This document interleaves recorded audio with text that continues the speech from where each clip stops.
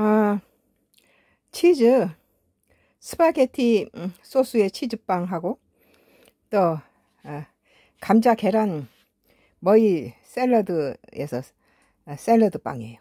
두 가지를 한꺼번에 했어요. 아, 맛이 아주 맛이 좋아요. 이 여름에는 이제 국에다가 밥 먹기가 싫어서 이렇게 빵을 이렇게 어, 스파게티에 저기 소스가 너무 맛있다고 어, 그걸 막 넉넉히 해서 밥에 비벼 먹고 또 어, 치즈 넣어서 어, 밥에 음, 치즈 볶음밥도 해 먹고 어, 치즈 덮밥하고 또 이 음, 계란하고 감자를 삶은 다음에 어, 그 양파하고 오이를 음, 새콤달콤하게 절였다가 꼭 짜서 에, 이렇게 넣고 머위하고 음, 토마토 넣어서 이렇게 저, 마요 묻혀서 이렇게 어, 샐러드로 얹은 다음에 계란 감자 샐러드를 얹은 다음에 그 위에다가 치즈를 넣어서 치즈가 이 엉키니까 쏟아지지도 않죠.